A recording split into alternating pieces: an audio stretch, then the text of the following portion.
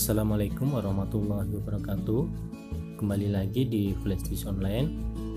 Video kali ini saya akan mencoba mensimulasikan uh, Untuk konfigurasi input ASI pada sebuah satelit modulator Yaitu untuk merek Ericsson. Dengan tipe Voyager 2 atau AVP series ini saya sudah masuk ke menu konfigurasi modulator melalui web browse.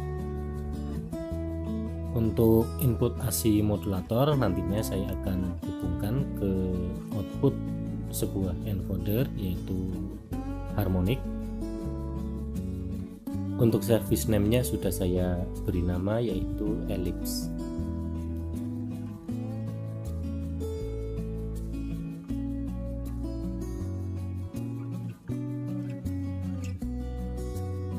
untuk RF out modulator atau L-band out modulator saya akan hubungkan ke decoder untuk mengetahui atau eh, sebagai monitoring dari output modulator nantinya.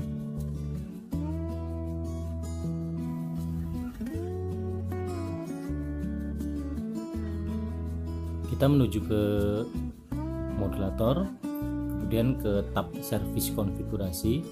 Jangan lupa cek input untuk ASI input. Di sini sudah terbaca ya untuk service name-nya yaitu ellipse sesuai yang dikirim dari encoder harmonic ini.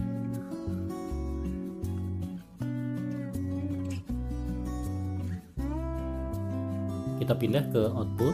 Kemudian kita pilih yaitu satelit modulator kembali lagi ke input ASI kemudian klik kiri dan tahan kemudian drag menuju ke satelit modulator. Ini dia sudah berpindah ke sini. Jangan lupa klik online untuk mengaktifkannya dan save.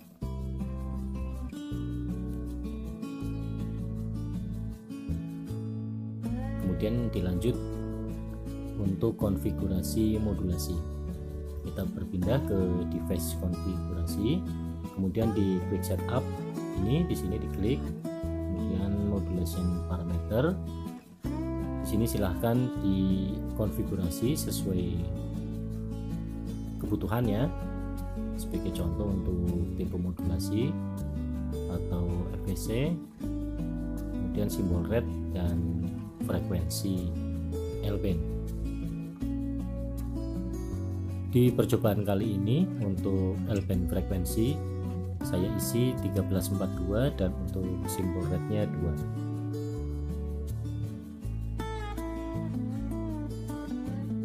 selanjutnya kita berpindah ke decoder untuk mengisi frekuensi dan simbol red.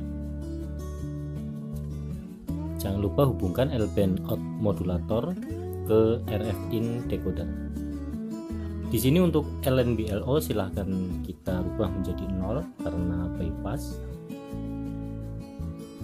Kemudian untuk frekuensinya yaitu ini tadi 1342 kita masukkan di sini di decoder 1342 dan untuk simbol rednya yaitu 2 atau 2 mega. Sudah sesuai dengan modulator apply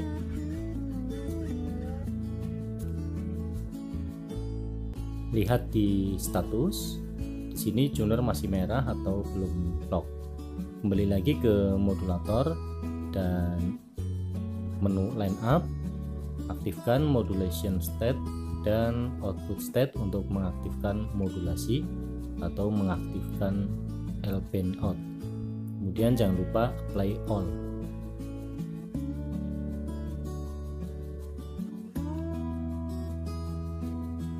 cek kembali di decoder untuk status ini masih merah coba kita refresh. Oke sudah terdeteksi atau sudah lock untuk tuner decoder. Kita lihat di bawah yaitu untuk auto status atau cek audio video. Di sini masih merah. Uh, sebentar kita cek di decoder.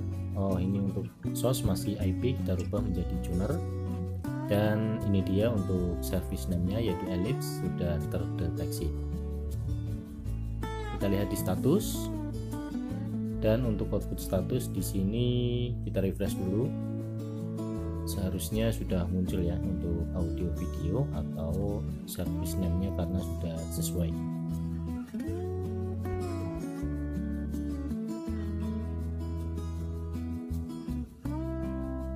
ini untuk output status sudah berubah berwarna hijau kemudian untuk video oke okay, dan audio oke okay.